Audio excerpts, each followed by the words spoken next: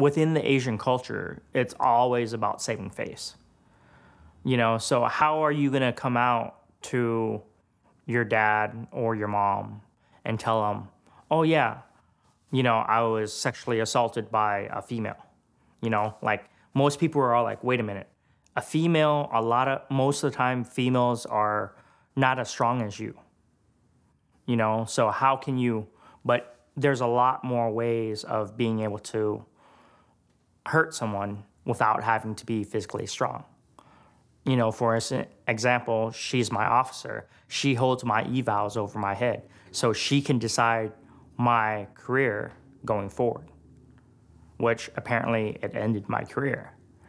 You know, because at first I was thinking about doing 20 years in the Navy, but, you know, I didn't last that long.